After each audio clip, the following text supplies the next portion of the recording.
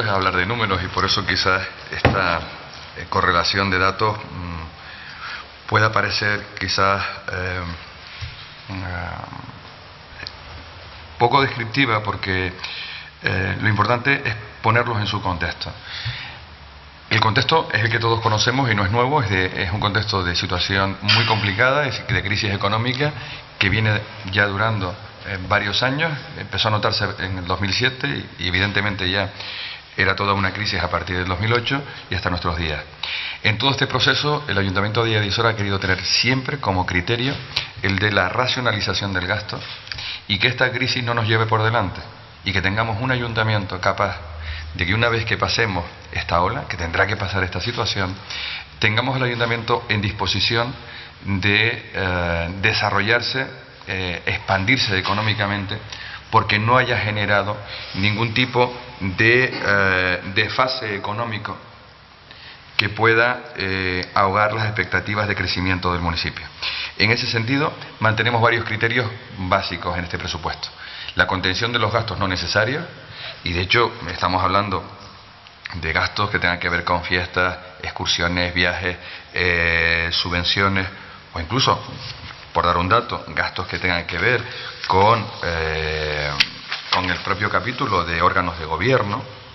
en el que en este caso los órganos de gobierno que llevan años, llevamos años ya, todo un mandato con los eh, sueldos evidentemente congelados, en este caso incluso los órganos de gobierno experimentan una bajada de 25.144 euros, que es un 6,51% de, de bajada. Sin embargo, ¿qué, es lo que aumenta? Aumenta una vez más servicios sociales, aumentan las ayudas sociales, el gasto social, La formación y el empleo es el gran referente. Antes hablaba Carmen Alicia de que eh, hay una inversión de dos millones y medio de euros en empleo. Una parte es el resultado de la aportación municipal y, otra parte eh, es el resultado de que este ayuntamiento presenta proyectos eh, competitivos, interesantes, proyectos que nos han puesto a la cabeza de Tenerife y de Canarias en número de programas de empleo puestos en marcha. Somos el municipio, somos uno de los municipios que más programas de empleo tienen puestos en marcha para ocupar a desempleados. Por lo tanto, estamos hablando de dos millones y medio, pero que además esperamos, y esto es importante, que a lo largo del presente ejercicio, que a lo largo del 2011, precisamente porque seguimos trabajando muchísimo en este área tenemos un departamento muy implicado, trabajando, y esto hay que decirlo también, no solo en su horario laboral habitual, sino trabajando en horario de mañana y tarde, porque este es un problema para nosotros especialmente serio, pues que eh, conseguirá, confío que consigamos a lo largo de este año incrementar a un millón, al menos un millón de euros más de inversión destinada a empleo. Probablemente habremos superado los tres millones y medio de euros destinados a programas de empleo eh, al finalizar este año 2011. Esto para nosotros es importante. Empleo, servicios sociales. Incrementamos también la partida de ayudas al estudio. Y no menos importante, es que en estos días en los que ya se ha dado cuenta por parte de la Consejería de Presidencia del Gobierno de Canarias de quiénes son o de cuáles son los ayuntamientos, cuáles son los ayuntamientos que cumplen con todos los ratios de salud financiera y por lo, tanto, cuáles son los ayuntamientos saneados de Canarias, de 88 municipios de Canarias, 84 no, no, no pueden alcanzar esta calificación y solo hay cuatro en Canarias, de ellos uno el ayuntamiento de Yadisora. Pero Hoy les puedo avanzar que ese es el resultado que hace muy pocos días nos daba el Gobierno de Canarias sobre la liquidación del 2009.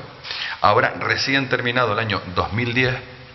cuando ya estamos mm, eh, prácticamente liquidando todas las cuentas del año que acaba de terminar, puedo avanzarles, puedo avanzarles que de los primeros datos que tenemos ahora mismo sobre nuestra mesa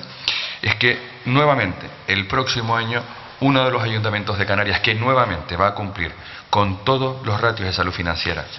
Eh, cuando se haga la liquidación del año que acabamos de terminar, volverá a ser el Ayuntamiento de Yarisora. Y por lo tanto, esta es una garantía a nuestros ciudadanos de que el rumbo económico eh, municipal eh, se está llevando por buen camino. Y esto no lo decimos nosotros. Estos no son solo informes de nuestros equipos técnicos, sino que están siendo avalados por el propio Gobierno de Canarias, que nos hace una auditoría y que luego lleva esto al Consejo de Gobierno del Gobierno de Canarias. Por lo tanto, volveremos a, cumplir con el ahorro neto, con el endeudamiento, con el remanente de tesorería y con la gestión recaudatoria. Cuatro elementos básicos que evalúan la sanidad, digamos, el saneamiento y el estado de salud de unas cuentas municipales. Quisiera decirles que cuando eh, se habla de endeudamiento, eh, simplemente un dato, un poco que nos sitúe en, en, lo que supone para este ayuntamiento el pago de intereses. Miren, concretamente, para nosotros eh, el pago de intereses para este año 2011 supone en el montante global del presupuesto municipal tan solo el 1,18% del dinero que mueve, que mueve el ayuntamiento en el presupuesto, tan solo el 1,18 son dineros destinados a pagar intereses a los bancos. Por lo tanto, desde luego, desde luego creo que estamos bastante, eh, tenemos bastante en cintura eh, tenemos bastante en cintura la deuda eh, municipal. Hemos hecho, no obstante, una previsión de fondos desde el año pasado de ir ahorrando un dinerito para que cuando este año tuviésemos que hacer los abonos correspondientes a los bancos no tuviésemos ningún tipo de problema. Y eso me congratula decirlo. El problema de un ayuntamiento no es tener deuda, igual que creo que el problema de cualquier familia no es tener deuda, porque todas las familias o buena parte de las familias españolas, igual que todos los ayuntamientos de España tienen que endeudarse. El problema no es ese. El problema es, primero, que lo que te endeudes esté por debajo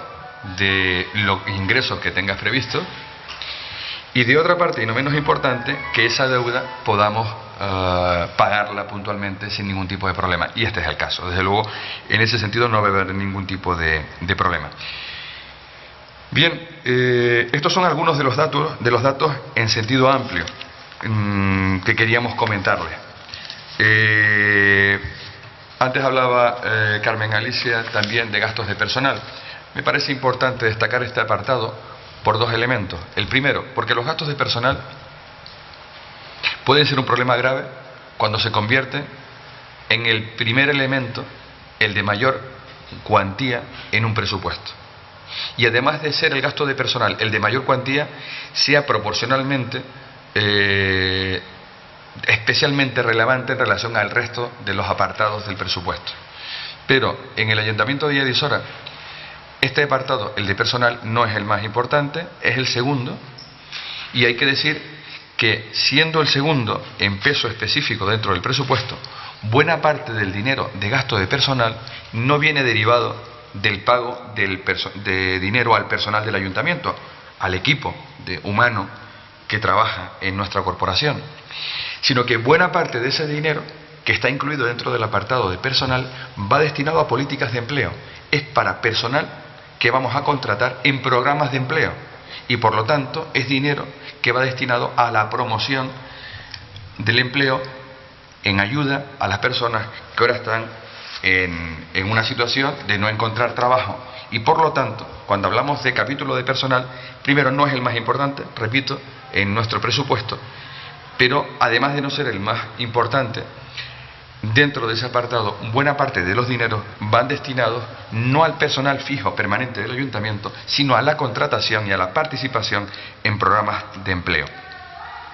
Bien, en definitiva, estos son a grandes rasgos eh, las líneas maestras del presupuesto, no se prevé incremento de impuestos, como tampoco los ha habido a lo largo de este mandato.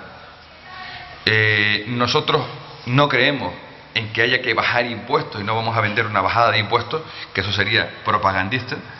porque lo que hay que hacer es intentar mantener la presión fiscal que hemos mantenido durante estos últimos años y han hecho que, por ejemplo,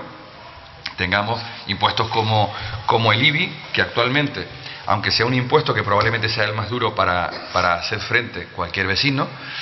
es un impuesto que en Guía de está en el 0,4. Como ustedes saben, eh, la ley en España establece que los inmuebles en cualquier municipio puedan ser grabados con un impuesto, una tasa que puede ir del 0,4 al 1,5. Y el ayuntamiento puede elegir el tipo de gravamen que quiere aplicar. En el caso de Guía estamos aplicando el 0,4, que es el mínimo que nos permite la ley. En el resto de, digamos, impuestos conocidos, como es eh, impuesto de circulación, eh, vados, etcétera, esos llevan congelados varios años y seguirán así. Esto creo que es importante decirlo,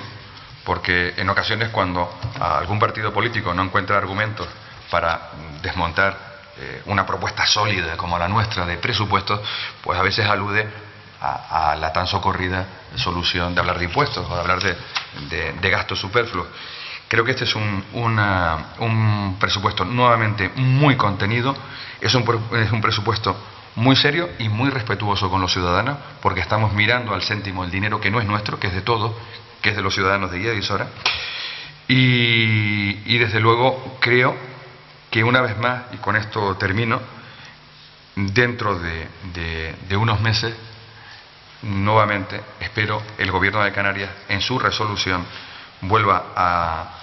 darnos la razón en que cumplimos nuevamente con el criterio que nos hemos planteado desde el inicio de esta crisis y es el de tener un ayuntamiento saneado pese a cualquier situación económica por la que estemos atravesando.